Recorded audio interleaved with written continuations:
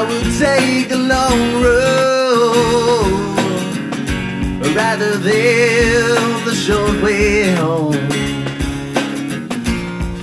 Give me some time to reflect on what I've known. Is this what's to come of me? If love is to ever leave, a long journey in the company of myself,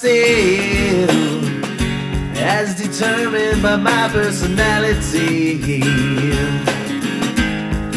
What's there to believe in when all my hope is gone? and everything goes wrong. Like you don't belong